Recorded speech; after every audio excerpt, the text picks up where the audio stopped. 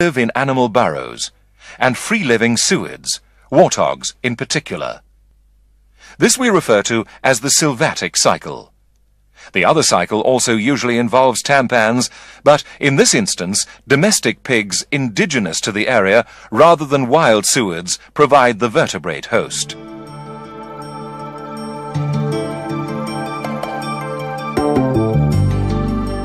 Other than in southern and eastern Africa, the distribution of ASF virus in its free-living state is not accurately known. In particular, the northerly and westerly extent of its occurrence remains to be accurately established. The West African situation is especially confusing, because, as already shown, ASF in domestic pigs has long been established there and warthogs occur in parts of a number of countries of the region. However, whether ticks capable of transmitting ASF virus are also present, and if so, their status vis-à-vis ASF virus infection remains to be determined. Likewise, the status of wild suids with respect to infection with ASF virus is largely unknown. Therefore, with the exception of southern and eastern Africa, the maps you are now looking at showing the distribution of ASF virus in warthogs and tampans may not be entirely accurate. Other wild suids that may be involved in the maintenance of ASF virus are bush pigs that are members of the genus Potamochoerus and giant forest hogs of the genus Hylochoerus. Although these species are resistant to the pathogenic effects of ASF virus, their importance in maintaining ASF virus in the field is not well understood. The transmission of ASF virus between its natural hosts is complex and cannot be dealt with in detail here. Nevertheless, an attempt will be made to describe the essential features. In the first place, it is important to appreciate that ASF virus replicates in both its vertebrate and invertebrate hosts, and is transmitted from one to the other. It therefore fulfills the criteria of an arbovirus, one of the few DNA viruses that does this.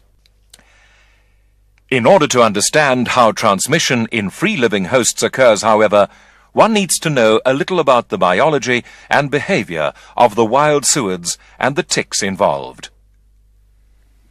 Warthogs spend their nights in underground burrows that they leave during the day to forage. Burrows are often situated at the bases of termite mounds where termite-eating animals have initiated the excavation. Any other suitable cavity may also be occupied by warthogs, and culverts under roads, for example, are commonly used. Female warthogs often live in groups, known as sounders, consisting of their youngest offspring, generally two to four, and perhaps one or two yearlings born to them a year previously, as well as one or two other adult females and their offspring. Males live apart from females as individuals or in small groups for the greater part of the year, except during the breeding season. In subtropical and temperate climates, warthogs have a distinct breeding season. In southern Africa, they mate in May, and the young arrive in early summer. Young warthogs spend about a month in the burrow before beginning to accompany their mothers on foraging expeditions. It is within these first few weeks of life that warthogs generally become infected with ASF virus by ticks feeding on them. This is despite the fact that the baby warthogs usually acquire antibodies to the virus in colostrum obtained from their mothers within a few hours of birth. During the acute stage of infection with ASF virus in warthogs, which lasts about a week, viremia sufficient to infect ticks feeding on them may occur. Thereafter, viremias are below the threshold of infection for ticks. This implies that, generally, ticks only acquire infection from warthogs over a period of a month or two during the time when young warthogs are present in the burrows. Burrow-dwelling ticks that feed on warthogs are classified as members of the Ornithodoros moubata complex, whose common name is the eyeless tampan. These ticks are morphologically identical to hut-dwelling Ornithodoros moubata that parasitize humans and transmit relapsing fever caused by a rickettsia.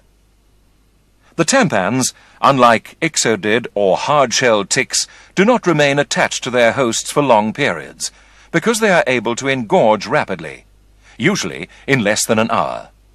They therefore spend most of their time in cracks and crevices in the walls and roofs of burrows, or in the soil of the burrow floor. Presumably, when the warthogs are asleep at night, the tampans climb onto their bodies and engorge before dropping off to return to their hideouts.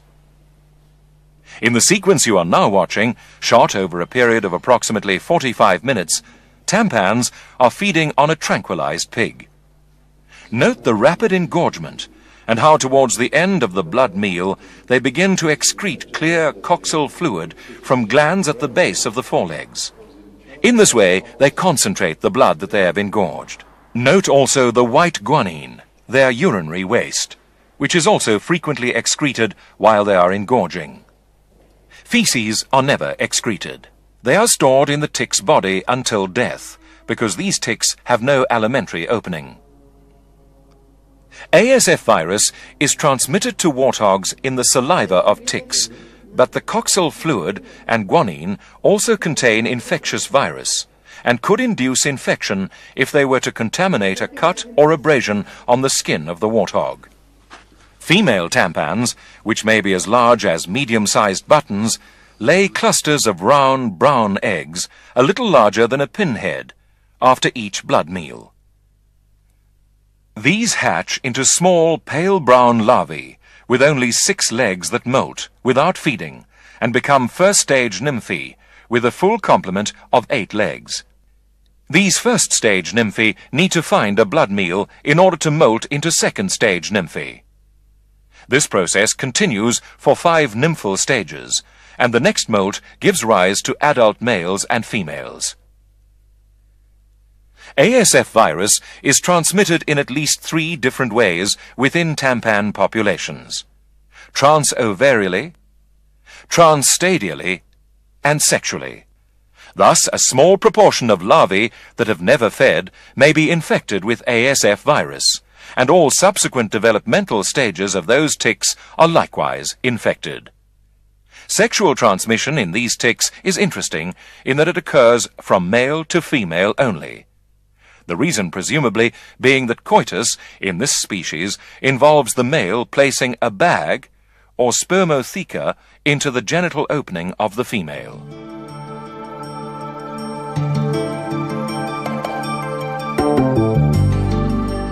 There is evidence from a number of localities in southern and central Africa that ASF virus is maintained in a cycle between indigenous domestic pigs and eyeless tampans that live in the structures that such pigs are housed in at night. The best studied of these areas straddles the border between the Mchinji district of Malawi, the Angonia district in northern Mozambique, and the Chipata area of eastern Zambia. There are probably similar situations in Angola, the Democratic Republic of Congo, Uganda, and possibly elsewhere. In the Mchinji Angonia area, a high proportion of pigs have antibody to ASF virus, indicating that they have survived infection with ASF virus. Usually, infection of domestic pigs by ASF virus results in an acute and highly fatal disease and the pigs die before they develop antibody to the virus.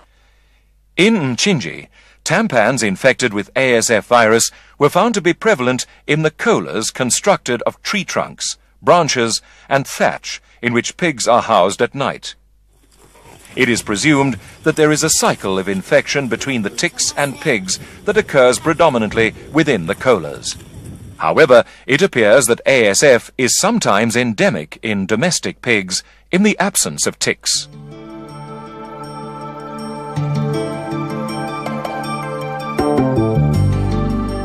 Outside areas where ASF occurs endemically in domestic pigs, that is, both in areas where it is maintained in the sylvatic cycle, as well as areas free of infection, Explosive outbreaks of ASF occur when the infection is introduced into domestic pig populations.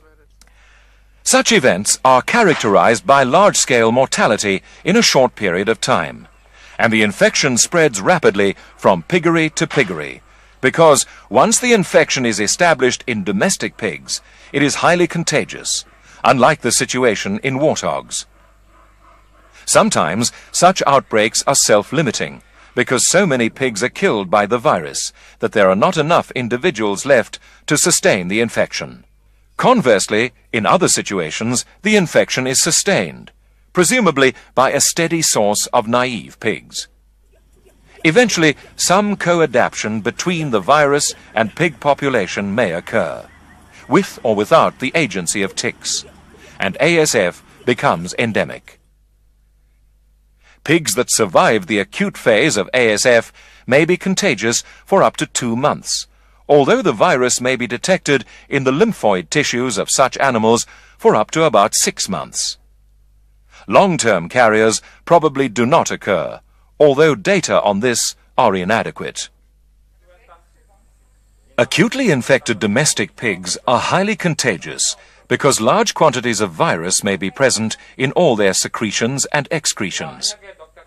These secretions and excretions are capable of generating fomites and may contaminate vehicles, animal handling facilities, and the hands or clothing of people. In this way, the infection may be transmitted indirectly. Contaminated feed is often responsible for the spread of ASF, especially untreated swill that may contain pieces of pig tissue derived from the carcasses of infected pigs slaughtered to produce fresh or processed pork. Virus that has survived sausage or ham production processes and subsequently entered the swine food chain has frequently been incriminated as the cause of epidemics. ASF virus is relatively stable in the environment and is able to survive for long periods of time if kept cool, for example in slurry. Biting flies, such as Stomoxys species, may transmit the infection mechanically.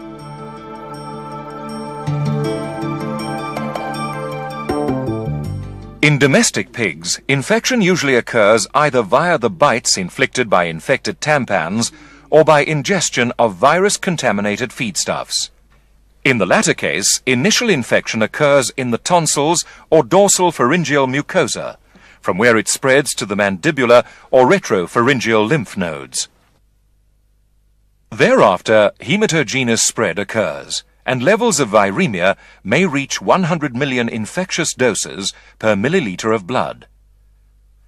The virus has a predilection for the antigen-presenting cells of the lymphoreticular system. In acute cases, these cells undergo cytolysis, while in chronic and subacute cases, these cells become hyperplastic. This is often accompanied by hypergammaglobulinemia. The cause of hemorrhage, edema, and effusion into body cavities in acute cases is complex, but involves thrombocytopenia and platelet aggregation with concomitant coagulopathy and dysfibrinogenemia, as well as impaired vascular integrity.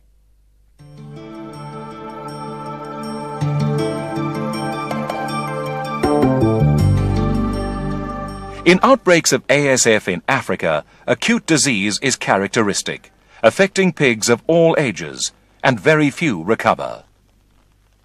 The incubation period varies between 5 to 15 days for infection transmitted orally, while for transmission by tick bite it is usually 4 to 5 days. Death occurs between 2 to 9 days in 90% of cases. The first sign of illness that usually goes undetected is a sudden rise in body temperature to between 41 and 42 degrees Celsius, followed by listlessness and partial or complete anorexia. This is often soon followed by a swaying gait with apparent weakness in the hind legs. Within a day or two, increasing congestion and cyanosis of the skin, tail, ears, snout, lower parts of the legs and abdomen become apparent in white-skinned pigs.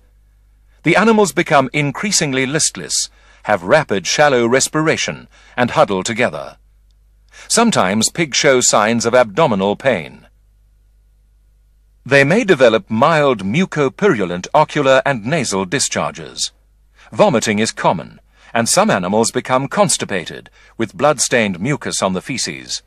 Others develop diarrhea, with fresh or blackened blood adhering to the base of the tail and perineum. Sows frequently abort early in the clinical course of the disease and at all stages of pregnancy. Animals in extremis sometimes have blood-stained and frothy discharges from the nose due to the lung edema, which is often the immediate cause of death. Clinical signs in subacute cases, that is, those lasting longer than about three weeks, are characterized by irregular remittent fever, anorexia, and loss of condition. Pneumonia is frequent, with coughing and dyspnea, especially after even slight exertion. Some animals develop cardiac insufficiency that may result in intermandibular edema and sudden death during forced exercise. Painful swelling of the joints of the limbs may occur with edema of periarticular tissues. Some longer-term survivors become emaciated and may develop areas of necrosis, abscessation, and ulceration of the skin overlying bony protuberances.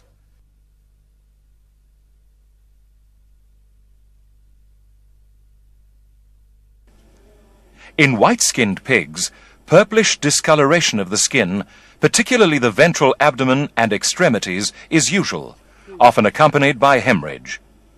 When the carcass is opened, organs appear congested, and widespread hemorrhages are evident. Abdominal lymph nodes, especially the hepatogastric and mesenteric lymph nodes, may be enlarged and resemble blood clots. Moderate accumulation of clear to bloody fluid occurs in body cavities. The spleen is usually, but not always, enlarged and congested, with pinpoint hemorrhages on the capsule. Peripheral infarcts are occasionally present. Petechial hemorrhages may be evident in the kidneys, which are often swollen. Lung edema is a common feature of ASF. The lungs do not collapse when the thoracic cavity is opened, and they appear moist, with prominent interlobular septa. Froth is present in the trachea. Widespread hemorrhages are often present on both surfaces of the heart. The lining of the glandular stomach is often severely congested and may reveal erosion and ulceration. In subacute and chronic cases, lymph nodes may be enlarged and firm, and varying degrees of interstitial pneumonia may be present. Microscopic pathological changes include karyorrhexis of lymphoreticular cells in the spleen and lymph nodes, fibrinoid vasculitis, acute glomerulonephritis and nephrosis, interstitial pneumonia, and lymphocytic meningitis.